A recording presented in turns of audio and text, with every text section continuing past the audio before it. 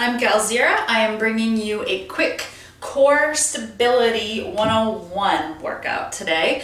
The intention of this workout was actually inspired by a friend of mine who um, recently had her first kiddo.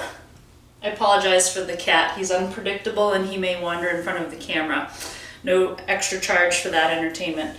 Um, but my friend um, was thinking of finding some way to re-strengthen her core, lumbar, pelvic area after childbirth. So this is not a postnatal specific workout, but um, after the appropriate healing time, this would be a good workout just to re-strengthen um, after delivery, after an abdominal surgery, or just anyone that wants to strengthen their core.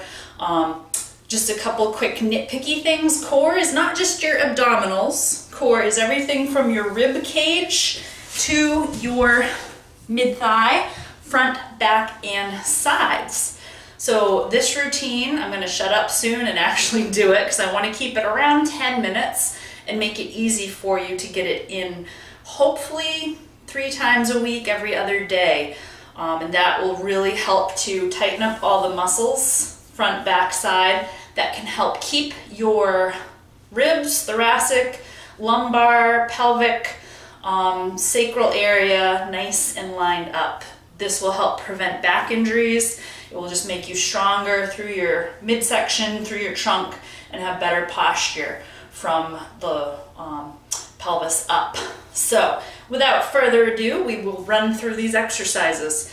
I have five of them for you.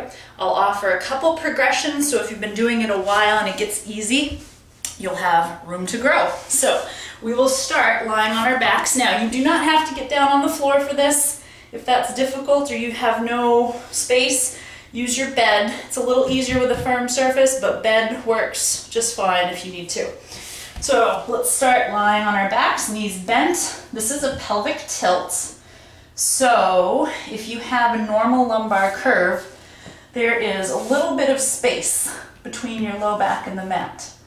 So this exercise helps strengthen your lower abdominals and your glutes. What we want to do is squeeze lower abs and buttocks, and we're basically pushing the back down, tilting and holding. So those muscles build some endurance and relax.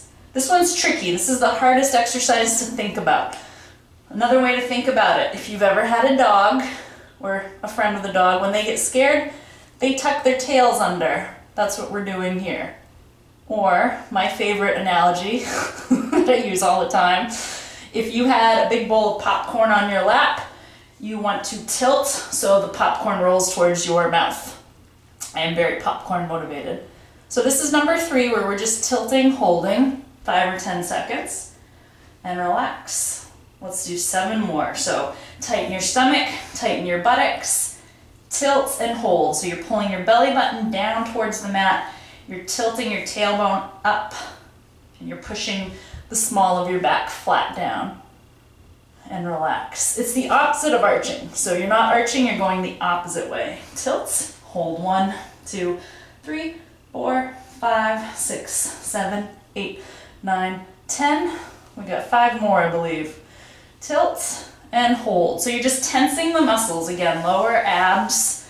So not so much up here, your pretty six-pack muscles, those are nice, they're not as functional. We want to get the lower abs, so kind of in the front of the pelvis and the buttocks, and relax. Four more. Tilt, push the small of the back down, tilt that popcorn towards you. and relax. Good, you got three left. Tilt. So if you get any pain with this, play around with the amount of effort you're using. So if it hurts the low back to go maximum effort, go ahead and relax. Just tighten up about 50% of what you could do. Okay, we got, I believe, two more. Tilt down, hold one, two, three, four, five, six, seven, eight, nine, ten, and relax. Two more tighten, push the small of the back down, tilt the tailbone. This one you're not lifting. We're gonna do the bridge next, but you're not lifting your hips up yet. Nine, ten, and relax.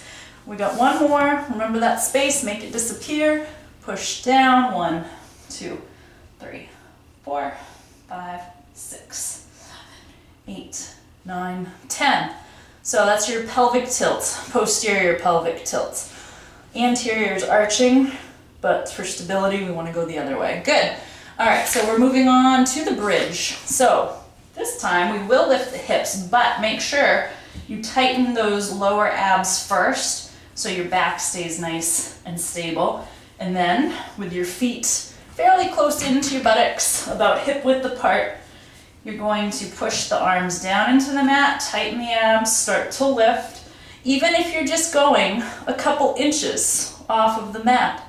As it gets easier, you can push up further and then slowly lower. Don't just collapse, come down with control. Keep everything stable and relax. Good. So pelvic tilt before you lift.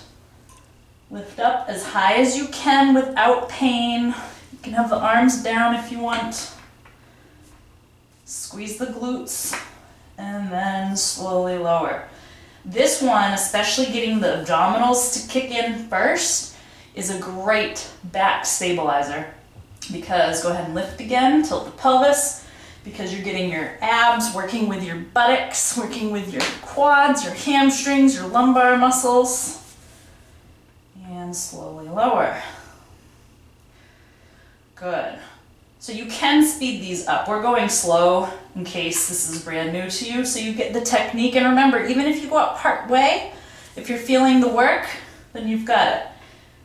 So if you've done these exercises for weeks and they get too easy, what you can do is come up and hold at the top. If you're a beginner, just keep doing the slow repetitions. I'm just showing you some options you can start playing around with trying to keep your pelvis level and then adding some movement. So lifting one knee, slowly lowering, lifting the other knee. Just the general guideline, my friends, is don't compromise your technique, especially with core stability, because we're trying to get everything in alignment and we're trying to educate your muscles to work together properly.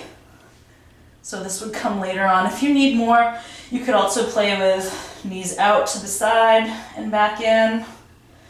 You could bend your knees further, come up onto your toes. So those are just options to make it harder if you need more challenge as you get better at this. Good. And if you're a beginner, hopefully you have just been doing your basic bridge this whole time. And now your glutes are fatigued, hopefully. All right, we're gonna move on we're going into a plank. Don't be scared, there are modifications. Planks are a gold standard of core stability because they work many different muscle groups. You've got options. You can be on your elbows or hands. Please leave your knees down if you're new to it. So you can come up just into kind of a push-up position and work on holding, or you can be on your elbows. There's not one better than the other. If you have wrist problems, elbows definitely is probably more gentle on that. If you need more, either position, lift the knees and just hold. So try to put weight equally between your shoulders and your feet. You want to keep your back with its normal, natural curves. So as you can see, around forward a little at the shoulders, that's our normal kyphotic curve. And then in a little bit at the lumbar spine, that is our normal lumbar lordosis, just don't let it exaggerate. Don't let the hips sag. Try not to have the butt way in the air. Good. So knees down if you need to modify. We're doing two more of these. And you hold as long as you can without pain. Go ahead and come up again, whatever version you're doing. So knees down. You could have the hands here. Find what works for you. And if I'm holding it too long for you, Hi, Spyglass. Then feel free to modify, come down, take breaks a little sooner. Good, we're gonna do one more. And again, try to tighten those lower abdominals. Do a little bit of a pelvic tilt before you even lift. Make sure your elbows or hands are right under your shoulders. If they're too far forward, backward, or out, you can hurt your shoulders, so please don't. Whew, I did a pretty big HIIT workout before filming, so I'm feeling it. Good. So there's your planks. Um, if you're new to this, leave that as is. I'm just gonna show you real quick if you need more later on a side plank where you're coming up onto knees and elbow. You can add the arm overhead if you get really good at it. Have the feet staggered, lift up, or even the feet stacked, or even the top leg up. Um, so we'll just do one on each side again. If you're brand new, don't worry too much about it, or just stick with this one. I don't advocate too much for a side plank up on the hand. You can, it's fine. You really gotta be careful of that shoulder. Balance is tricky. I don't want you to accidentally fall and subluxate your shoulder or tear a rotator cuff. So I prefer just to be safe and teach you to do it with the elbow down. One, two, three, four, five. Remember knees down if you need to modify. Eight, nine, ten. We gotta get the other side. Elbow right under your shoulder, coming up onto your knees or your feet. One, two, three, four, five, six, seven. And again, if you get good at this, lift the leg. Nine, ten. Super. Good. Okay, we've got two more exercises.